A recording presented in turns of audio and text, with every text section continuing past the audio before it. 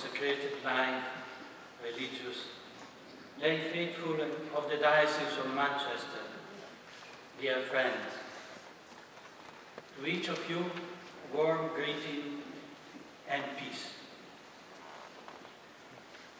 In this Advent season of joyful expectation and on this beautiful solemnity of the Immaculate Conception of the Virgin Mary, whom in today's sacred liturgy the Church proclaimed an advocate of grace and a model of holiness. The people of God, in this beautiful portion of the Lord's vineyard, rejoice as His Excellency Peter Anthony Libasci is installed as their 10th bishop. Just recently, groups of bishops from various regions of the United States have begun making their so-called ad limina visit to Rome and to the successor of Peter. On one of these occasions, Pope Benedict XVI addressed the bishops emphasizing evangelization and interior renewal as priority of the Church in an increasingly secularized society. He said, despite attempts to steal the Church's voice in the public square, many people of goodwill continue to look to her for wisdom, insight, and sound guidance.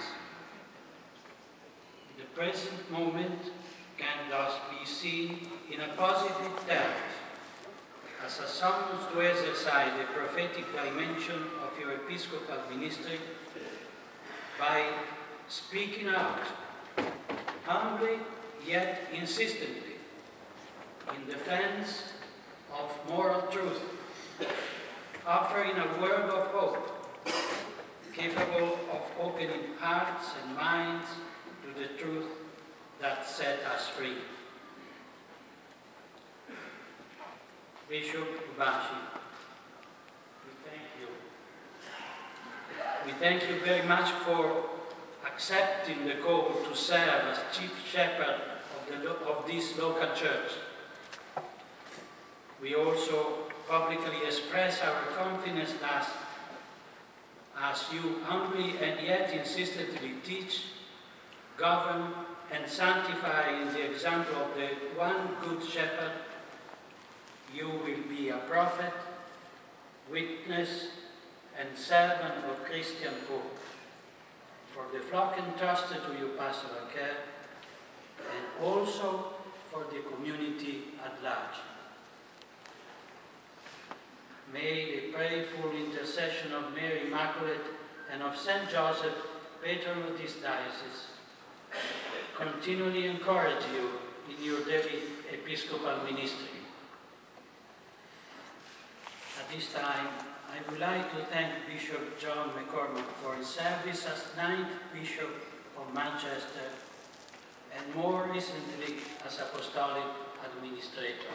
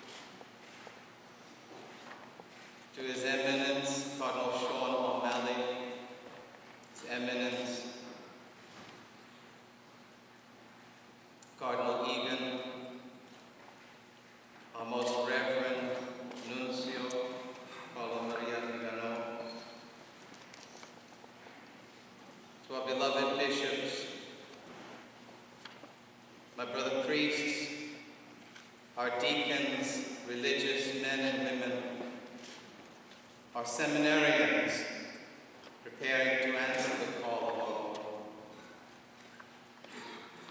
To our brothers and sisters in the faith, sharing with us this day, and to all of our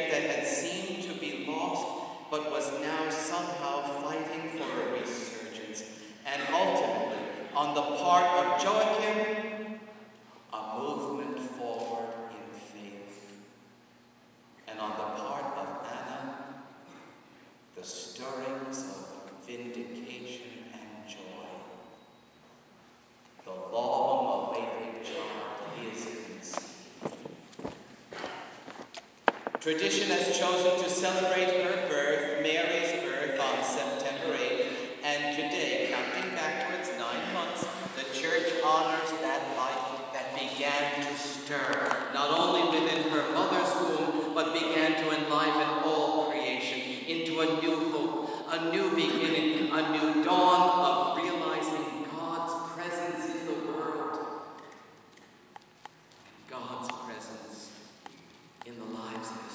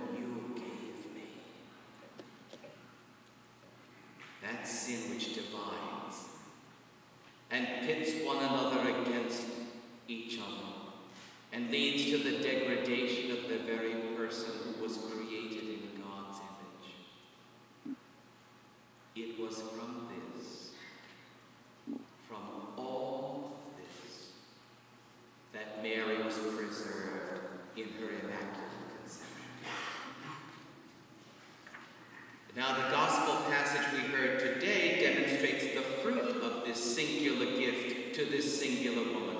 Upon her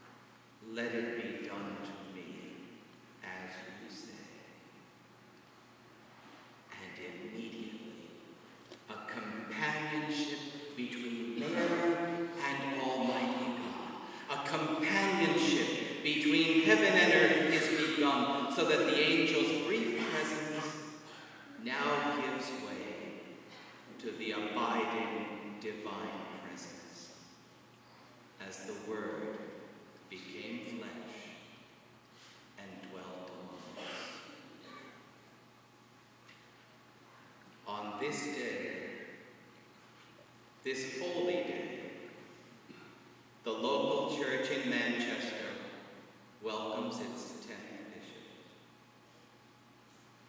On this day, when the whole church recalls God's invitation to life, on this day, when the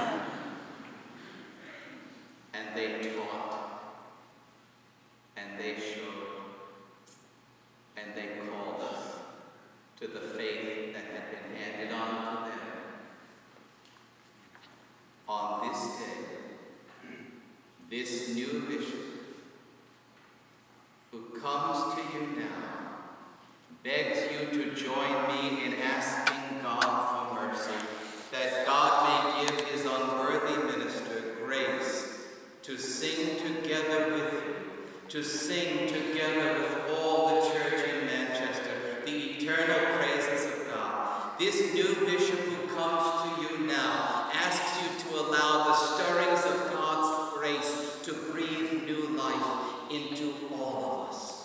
together, so that this faith that has been the source of hope and love in this diocese for so many generations, cherished by those who built these communities of faith, this faith can be entrusted whole and entire to a new young generation eager to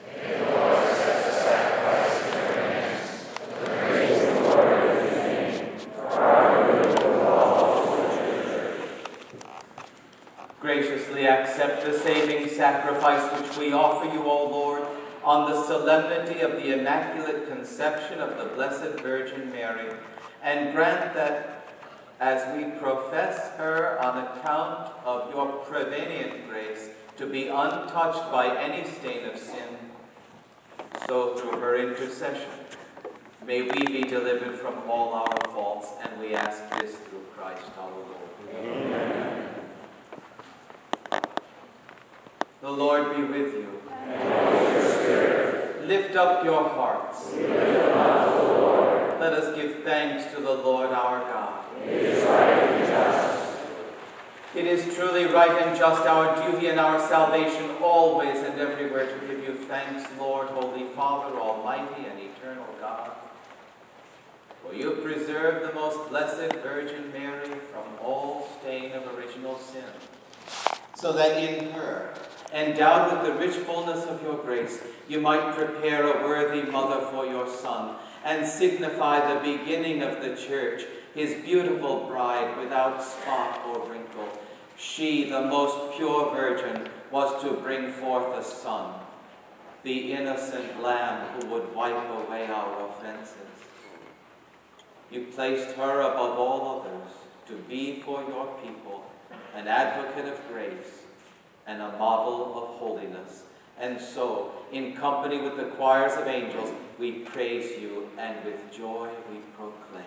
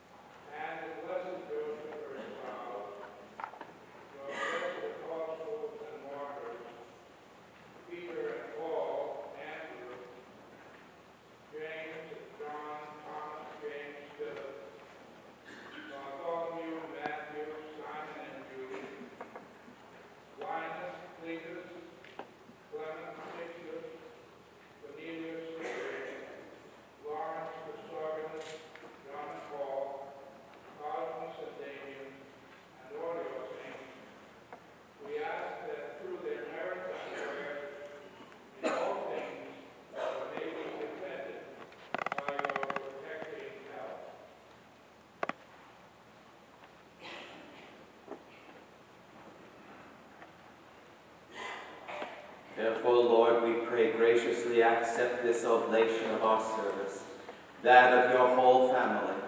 Order our days in your peace, and command that we be delivered from eternal damnation and counted among the flock of those you have chosen.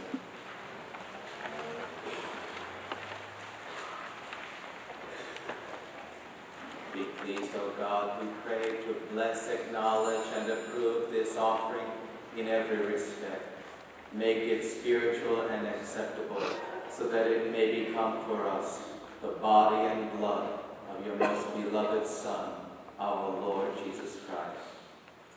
On the day before he was to suffer, he took bread in his holy and venerable hands, and with eyes raised to heaven, to you, God, his almighty Father, giving you thanks, he said the blessing, broke the bread, and gave it to his disciples, saying, Take this, all of you, and eat of it, for this is my body, which will be given up for you.